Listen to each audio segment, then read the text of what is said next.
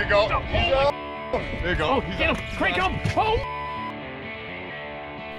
Hey, I'll tell you what, everybody. I am super excited this morning because we have not done any salmon fishing at all this year. So Austin gave me a call yesterday. They got an absolutely giant. The thing was almost 39 pounds. So I'm pretty excited. And the other part I love to do, I love when I can catch salmon and it's with a rod in my hand. But uh, I think the bite is going to be on fire. What's our lucky going day. on?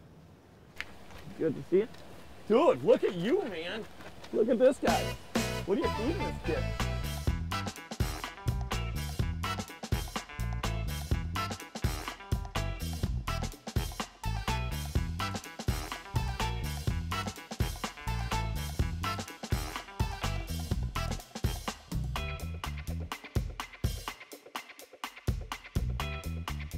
Okay, so basically, you're gonna watch the screen and see where we're marking them. So most of our marks right now are in the bottom five feet.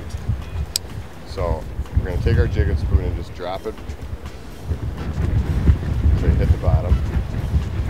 What kind of jigging technique? Are you ripping it hard or Yeah, soft? you're giving it a pretty good rip. Okay. I would like more aggressive than anything else I do. So once I'm tight on bottom, I'm gonna give it, they're pretty low, so I'll give it two cranks up. And then I'm giving it a good two to four foot rip. So, Wow, you're really snapping it. yep. huh? And your bites are not what you would expect. You're expecting this freight train Yeah, that's what I'm clobber. No, it's like, it feels like something's just chewing on it. All of a sudden on the way down, you feel like, like it just feels weird. Okay. And as soon as you feel that little tappy, scratchy, weird feeling, reef them. Okay. Or you'll be dropping it down, it just doesn't go down. Okay. It just slacks out and completely stops. They got it. All your bites are on the fall.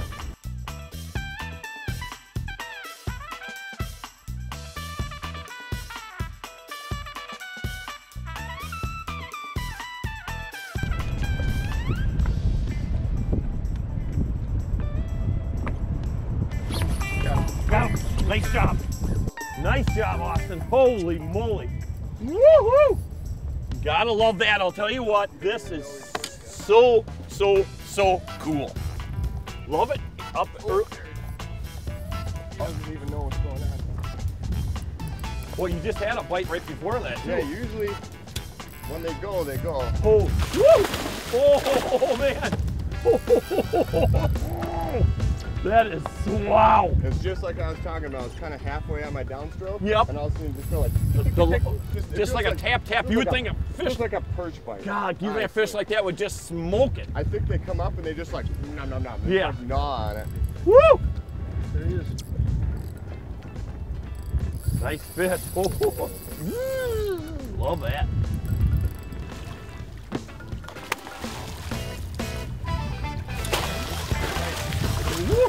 Got the, I got the, the hooks in the net. That's all right. Whoa, is that a nice fish?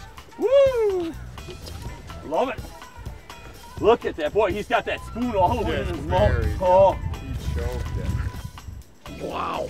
I'll tell you, that is so cool. You know, like I said earlier, everybody, we haven't done any salmon shows at all. And Austin called me yesterday. He had one that was almost 39 pounds. You're, what do you, that fish might be one of the biggest fish. So we're not Sam- we're not positive. I'm sure somebody's caught one that didn't get you know publicized or something. Right. But from fish that we know about, Okay. we're pretty sure it's the biggest salmon caught on the Wisconsin side of the lake since the 90s. Wow. And there's That's- been three this year over 37 and a half, Okay. which all three I think are the biggest since the 90s. And this is what you're getting. Yep. So this is a male, That is a nice beast.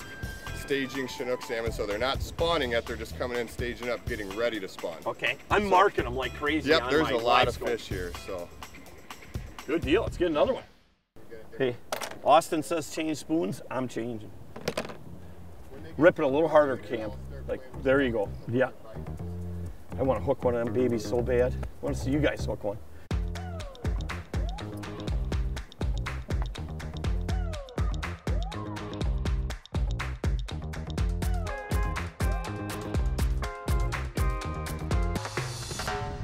Oh, you got him. Real, real, real. He's down there. You got Woo! him. Yep. That he goes. So, now he's running. That is so cool. Now he's running. Holy camoly. Jumping Jupiter. Boy, Austin, you were right. Unbelievable. Go, this is go. so cool. Nice job. How far is he going? Woo! He's taking you to the Hilton, man. He's burning. He's probably halfway to the lighthouse. Are you kidding me? Nope, he's going. You want We you, you, you're control of the boat, so if you need to spot on take it off spot lock or anything. Remember, you all started with that huge muskie. Then ever since then you retired, you fell apart. Right? You can't get a girlfriend. You're, you're messing up in sports. You're getting hurt. Right? Now you're back to your root, roots. Holy! Look at the size of that one. Woohoo! Get him? Yeah! Let's Go! Nice job. Dude, my forearm was burning the whole time. You got to I almost had Larry take it for a minute. Oh, I wasn't taking it. Are you kidding Oh. me? Hang on to him, Sonny. Hang on to him, Grasshopper. That's a big boy. That's a mama. That's a mama. Full of presents. I did what you said when you like left the, like the inch when it was going down. Yeah, and then you just feel yeah, like that yeah. tick, tick, tick. Yep, Yep. the first one I did it. Yeah, so let me know about that drive. Because, yeah, I I mean, pretty much. Oh, there we go. There you go. Holy oh, Go! Well, he just, he just, like you said, he just He's coming right at you. Whoa, that is such a, oh, that is such a great feeling. Oh, Woo, look at that reel. He's gonna spool me out. He's, he's, oh, he's going. On the chase. Come on, Larry. Putting the beans to him, trying to get him back. If you've never experienced catching a salmon jigging, you definitely got to do it.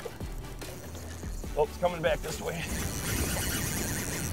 Oh, he's going back the other way. Oh, came off. Unbutton. Yep, came unbutton.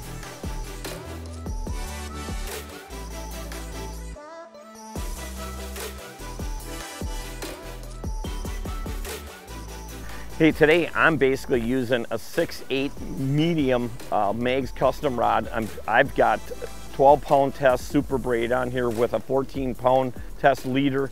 Uh, Austin's using a little bit different rods. His rods are working real good too.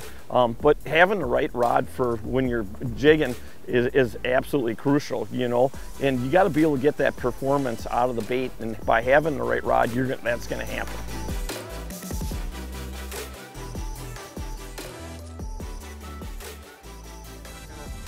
You. Oh, there we go. Oh, yeah. Stalk him.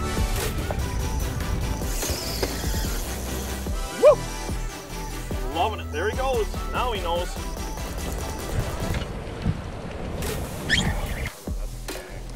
Oh, that feels so good. Woo! Nice job, Austin. Right. Nice job. So this would be, so you know like they spawn at four? Yeah, 60, 70% of them spawn at four. right. The other 30, 40% will go at three or five. No kidding. Yep. Okay, that's it's- interesting. Mother Nature's way of, let's say, you know, in Alaska and they're in a river and they spawn and there was a drought and all the babies the next spring died in the river, right?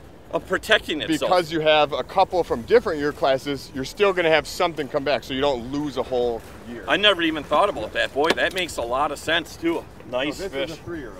It's a mix in the lake of stocked and wild fish. And Oh, I thought they were all stocked. we're estimating at this point that almost 60% of the Chinooks in the lake are now wild. That's crazy. But all the natural reproduction happens on the other side because they have rivers that are conducive to cold water and spawning. okay. Larry, I can't see you. You're so small behind that fish. Hey, what are you talking about, man? That's because Austin's so tall. That's fact. Here, get down on your level. right, right. Let's have to do it, Jeff, too. Nice job. All right, game on. Get another one. Hey, Leroy Lunch. We have smoked fish. Another, what do you say, party, packer Oh, yeah. game, any badger. I mean, you name it. Any, anytime someone uh, asks you to come over, Just a little snack even. bring a dip over. Yeah, you want to have some fun? They have quite a few seasonings on their smoked fish, but I just grabbed these today. They said this one, the blackberry pepper smoked salmon, is like the hottest seller in place. So I'm gonna try both of them, see what they taste like. We're gonna make a little salmon dip here. All right, I'm gonna finish chopping this. Yep. You got that minced up. I'm gonna break the fish up in the pan here. It just flakes apart. That's you can tell it's smoked perfect. I like taking the fatty stuff off. I just break it up, put it in the pan. You're gonna get dirty. I don't care what just people say. To make stuff like this, you're gonna get dirty. I'm gonna throw some Philly in there. Make sure it's room temperature. I mean, to pull it right out of the refrigerator, forget it. You'll never work with it. It'll never work with it. If you just so throw it in the microwave 20, 30 seconds at a time until it gets soft. Put your celery in.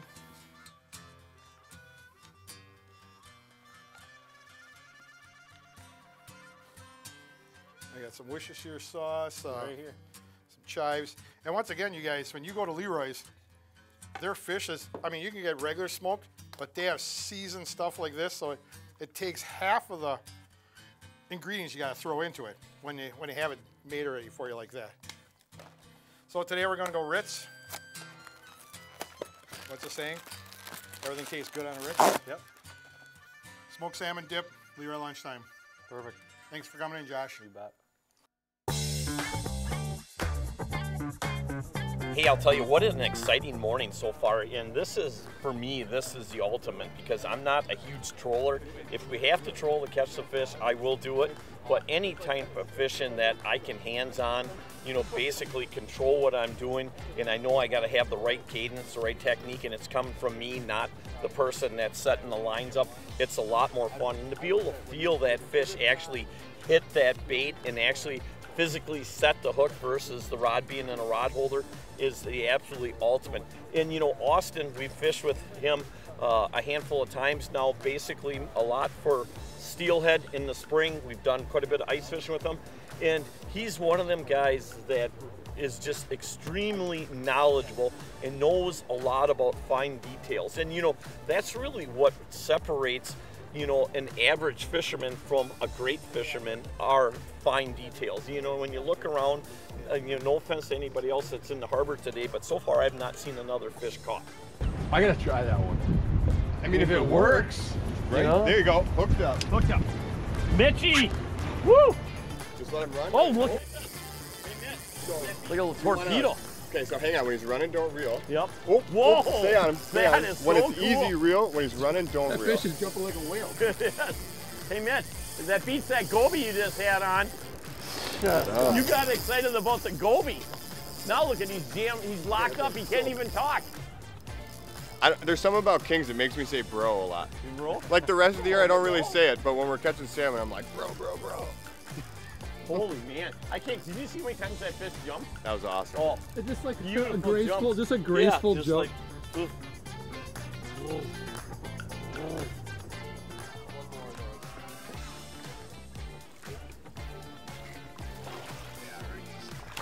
Nice.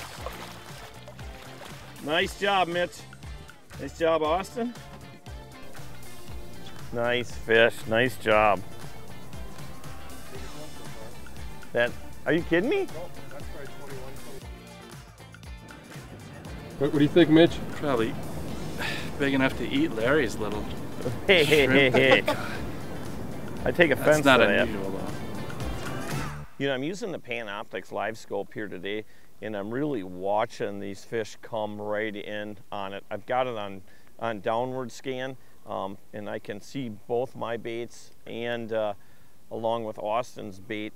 And it's nice to see them fish come in because when I, I see them come in, I'm definitely pausing it just a second longer.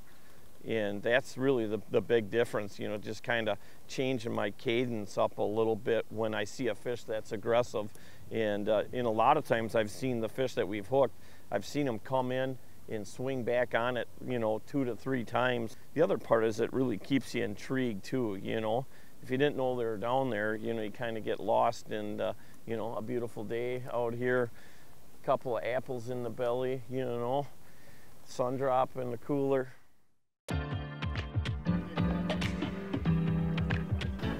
Well, as, as long as I beat Mitch, that's all I care. All those ones. There you go. Nice. Mitchy! Woohoo! All right. The one and only. Oh, look at that fish. He's way out there. Holy, holy, holy. It's a, it's, oh, so it doesn't count. It's Cam. Right. I'm still ahead one. Run the gas, boys. Yep. Nice job. Nice job, man. job, Cam. Jeez. No way. No way. Up in the front. There he is, right here. Right here. Now he's gonna go that way. I cannot believe that he did not come on hooked. Whoa. I thought it came off when it jumped all the way over there. Like, yeah, I mean, it was 200 yards Yeah. away. When he was out by that boat right there, he went like this back and forth. He had that bait in his mouth, and then that freaking bait came out.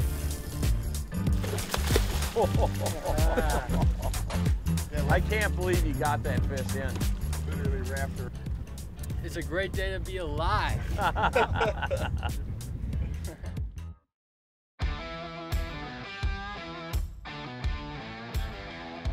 All right, so we're vertical jigging, jigging spoons for salmon. The Cabela's brand spoons are good. There's, there's any vertical jigging lead spoon works. There's days, different brands, different colors are better, just like anything else. We're usually going to use anything from a half ounce up to, say the current's real strong or it's a real windy day, maybe we'll go up to like even a two ouncer. These fish are staging to spawn, so they're not spawning yet, but they're starting to come in from the lake, they're congregating, they're grouping up before they're gonna make their spawning run, whether that be into a marina, up a river. Um, so these fish are not actively feeding anymore. When you get this jig and spoon ripping in front of their face, you're just gonna get that instinctual reaction to bite it. So even though they're not trying to feed, they just can't help it, they just gotta bite it. There you go. Get him! Crank him! Oh! Mitch, crank him up! Whoa, Mitch Moline! You are a legend! You are no doubt a legend, dude. Unbelievable.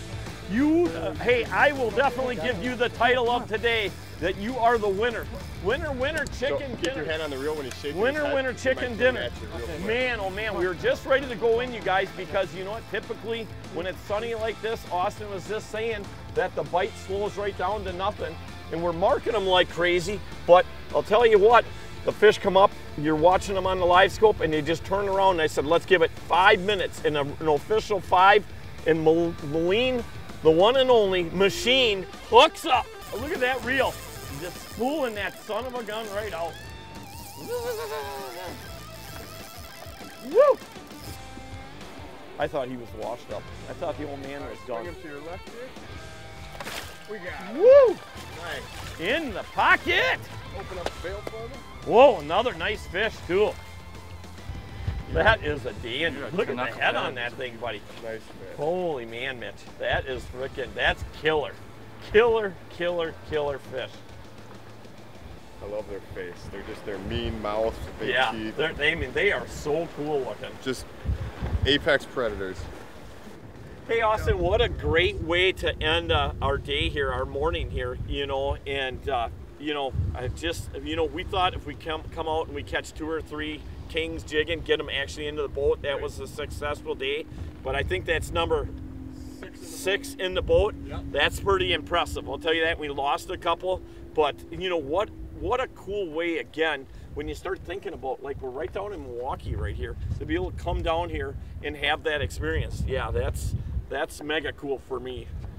I absolutely awesome job, and I'd shake your hand, but you're all full of salmon slime. But uh, you know, get you cleaned up a little bit. I Do it. This traditionally goes to the person who caught the most You're fish. right about Why that. are you And- holding it there? Well, the whole th- well, and the whole thing is, you know what? Wipe your hands off, and then I'll shake your hand. But when you get done fishing, buddy, awesome job. It's been a while. Cam, absolutely great to see you, dude. How did you get so tall? I just don't I realize you're like a foot and a half taller than your dad.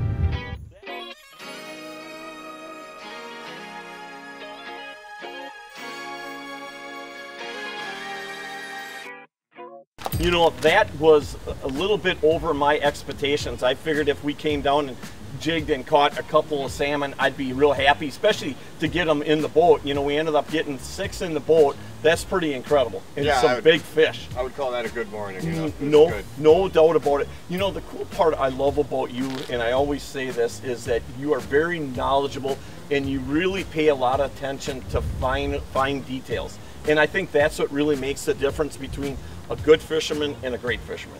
I mean, small details honestly are the key, right? Like when they're when they're biting hard, it doesn't matter so much. Everyone's catching fish. Right. But when the bite's a little bit tougher, And it was tough this It- it morning because I didn't see very many fish caught Right. besides, not bragging, but besides the ones that came out of our boat. and it's it's it's the small details and, and those tougher days that make all the difference. Hey, Austin, let's tell everybody how they can get a hold of you. All right, so uh, BlueRibbonOutdoors.com, Blue Ribbon Outdoors on Facebook.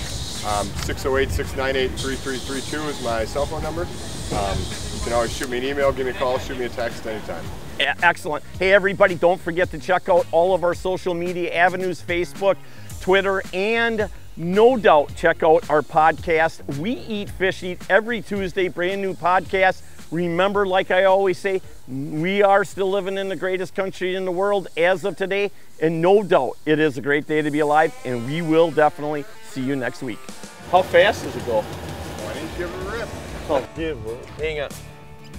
Throttle on the right. I'm already on the throttle. This thing is awesome. Oh yeah. Oh, Well, what, what are you talking about? Like, yeah, he doesn't even care about it. It's like having a child and just leaving it out on the street. Here, I'm pampering it all the time, washing it down, talking to it, you know. Cam will come back someday, I tell you.